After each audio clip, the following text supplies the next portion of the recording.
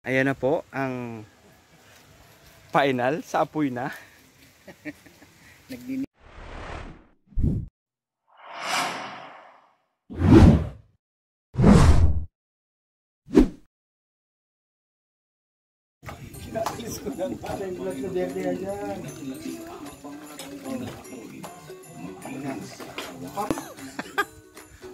Iba't ibang anggulo kaya magulo. Huwag na sa mukha ni Brad Martin, dito lang sa kababoy. Yan. Maglilitsyon pa yan. Oo, maglilitsyon pa. Dapat nga ako lang taga-video eh. Ba't ako napunta rito? May bago kang ni-recruit.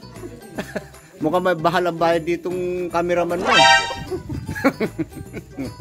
Ko na naman.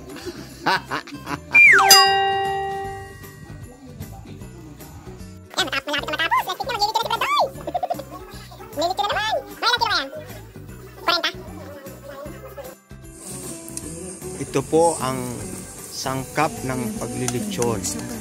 Sibuyas, dahon ng sibuyas, celery, tanglad, bawang, asin, paminta. Yan, yan po yung ipapalaman natin sa baboy na ating lilitsunin. At pagkatapos po ng mailagay lahat, matimplahan na, ah, isasarado po natin ang baboy o itatahiin natin.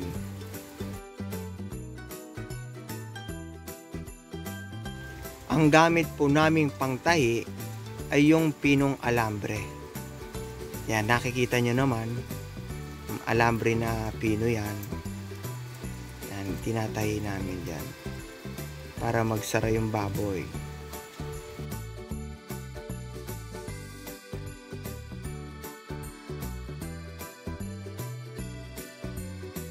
Ayan na nga, malapit na pong matapos ang pagtatahi ng baboy.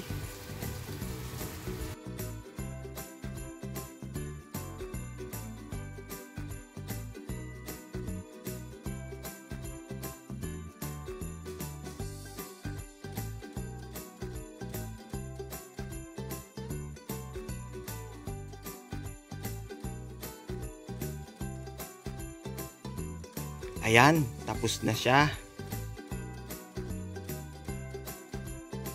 Ngayon, ang susunod nating step, pupunasan natin ng toyo ang labas ng baboy. Yung buong baboy ha, pupunasan natin. Ayan, tuyo po yung ilinalagay ni Bradoy. Pinupunasan niya ng tuyo ang buong baboy.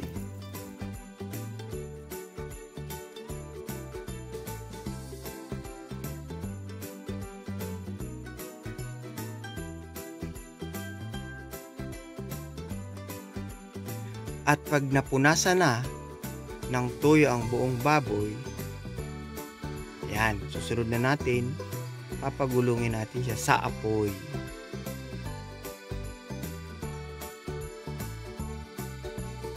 Ito na po ang next, ang pagulungin siya sa apoy. Tatlo o hanggang apat na oras natin siyang pagugulungin sa ganitong paraan kailangan hindi ma- masyadong mabilis ang pag-ikot at hindi rin masyadong mabagal. Kailangan tamang bilis lang para yung lupag kaluto pantay-pantay.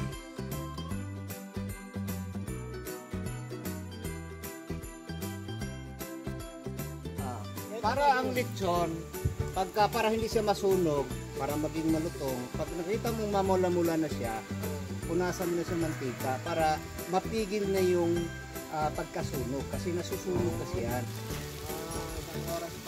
Ba, isang oras na lang palang tagal nito ah. Pero mukhang luto na siya. Ayos ah. Oo. Yan ang payo ko lang pag ah, tamang ikot lang. Oo. Pero pag naramdaman mong pinapaikot ka lang, lumitaw ka na. Ang purpose talaga kung bakit kung pinupunasan ng ganito ito, para yung pantay ang pagka golden brown Yun no? ng lechon. Kaya Ayos. dapat tandaan ninyo yan mga guys.